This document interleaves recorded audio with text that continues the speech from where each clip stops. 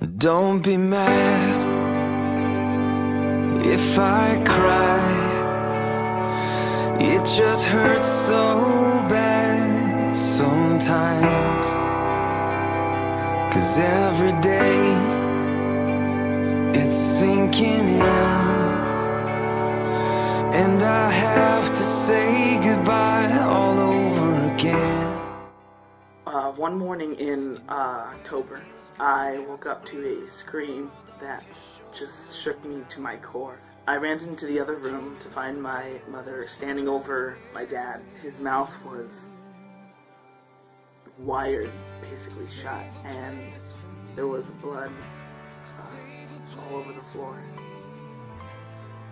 Uh, he died in the middle of the night, and there was never really an explanation of how or why.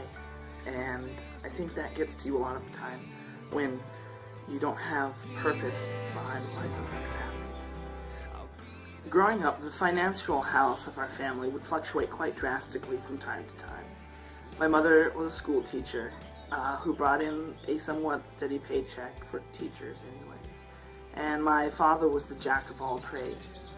In my lifetime, he was a restaurant owner, a businessman, real estate agent, land developer, chef, and he, right before his death, he was even studying to become a blackjack dealer to pull in a little extra money to the family.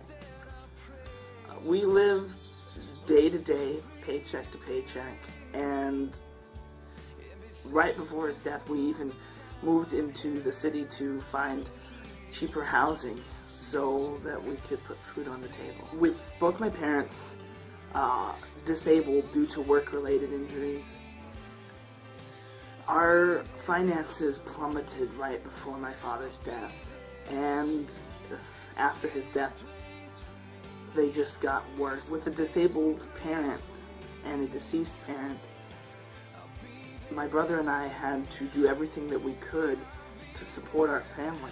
I would uh, clean neighbors' lawns and uh, make little bits of money that way. And my brother stopped attending college to basically work three or four jobs at a time to make sure that we had everything that we needed. Passing away at 54 years old, my father had a strong view that he would be the Rocky Center and always there for his family.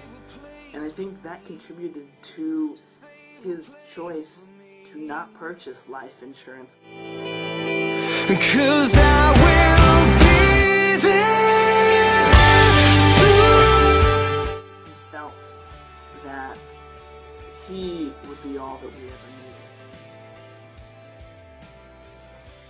I am a sophomore at the University of Arizona, majoring in molecular chemistry and psychology. Uh, I plan to attend medical school one day if the funds can be provided at that time.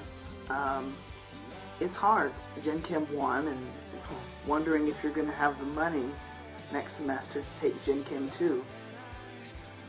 Um, I know that he would never want Burden, but I know that it's something that can be put to good use in my life and in teaching others about ensuring your life and the people that you care for.